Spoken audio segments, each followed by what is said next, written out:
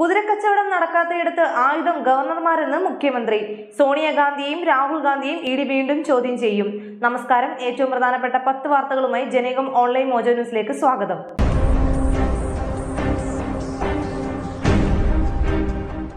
നടക്കാത്തയിടങ്ങളിൽ ഗവർണർമാരെ ഉപയോഗിച്ച് സർക്കാരിന്റെയും നിയമസഭയുടെയും അധികാരങ്ങളിൽ കൈകടത്താൻ ശ്രമം നടക്കുന്നതായി മുഖ്യമന്ത്രി പിണറായി വിജയൻ ജനാധിപത്യപരമായി തെരഞ്ഞെടുക്കപ്പെട്ട സർക്കാരുകളെ അട്ടിമറിക്കാൻ നോക്കുകയും സംസ്ഥാനങ്ങളിലെ തെരഞ്ഞെടുക്കപ്പെട്ട ജനപ്രതിനിധികളെ കുതിരക്കച്ചവടം നടത്തി വിലക്കെടുക്കാനും ശ്രമിക്കുന്നുവെന്നും അത് നടക്കാത്ത ഇടങ്ങളിലാണ് ഗവർണർമാരെ ഉപയോഗിക്കുന്നതെന്നും മുഖ്യമന്ത്രി പറഞ്ഞു കേരള ഗവർണർ ആരിഫ് മുഹമ്മദ് ഖാന്റെ ഹൈക്കോടതിയിലെ ലീഗൽ അഡ്വൈസറും സ്റ്റാൻഡിംഗ് കോൺസലും രാജിവെച്ചു. അഡ്വക്കേറ്റ് ജയ്ജു ബാബുവും ഭാര്യ അഡ്വക്കേറ്റ് ലക്ഷ്മിയുമാണ് രാജിവെച്ചത്. ഇരുവരും ഗവർണർക്ക് രാജിക്കത്തയച്ചു.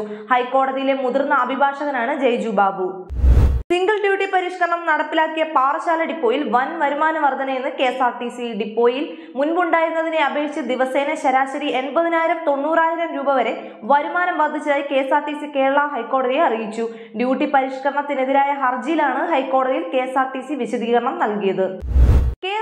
ടൂറിസത്തിന് അന്താരാഷ്ട്ര പുരസ്കാരം ലണ്ടനിൽ ലോക ട്രാവൽ മാർക്കറ്റിൽ നടന്ന ചടങ്ങിൽ ടൂറിസം മന്ത്രി P A Muhammad Riyas award ഏറ്റുവാങ്ങി.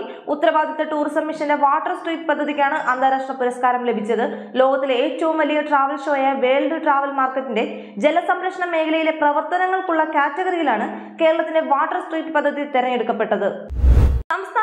പാഠ്യപദ്ധതി സമഗ്രമായി പരിഷ്കരിക്കുന്നതിനുള്ള പ്രവർത്തനങ്ങൾ നടക്കുകയാണെന്ന് മന്ത്രി വി ശിവൻകുട്ടി. കഴിഞ്ഞ കാലത്ത് അറിവിന്റെ നാനാ മേഖലകളിൽ ഉണ്ടായ വളർച്ചയും വികാസവും പരിഗണിച്ചാവും പുതിയ പാഠ്യപദ്ധതി പരിഷ്കരണം നടപ്പിലാക്കുകയെന്നും സ്കൂൾ തലം മുതൽ സംസ്ഥാന തലം വരെയുള്ള സമഗ്രമായ ജനകീയ ചർച്ചകളാണ് നടത്തുന്നതെന്നും മന്ത്രി വാർത്താ സമ്മേളനത്തിൽ പറഞ്ഞു. കോൺഗ്രസിന്റെയും ഭാരത് ജോഡോ യാത്രയുടെയും ട്വിറ്റർ അക്കൗണ്ടിൽ മരവിപ്പിച്ച സിവിൽ കോടതി ഉത്തരവ് കർണാടക ഹൈക്കോടതി റദ്ദാക്കി.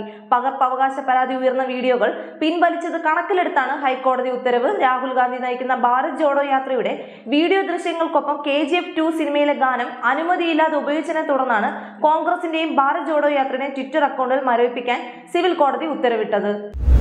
എക്വറ്റോറിയൽ ഗിനിയയിൽ തടവിലാക്കപ്പെട്ട ഹീറോയ്ക്ക് ഇഡൂൻ കപ്പലിലെ മലയാളി ചീഫ് ഓഫീസർ സനു ജോസ് അടക്കമുള്ള ഇന്ത്യക്കാരെ മോചിപ്പിക്കാൻ അടിയന്തര നടപടികൾ സ്വീകരിക്കണമെന്നാവശ്യപ്പെട്ട് രാഹുൽ ഗാന്ധി എം കേന്ദ്ര സർക്കാർ നേതൃത്വത്തിന് കത്ത് നൽകി.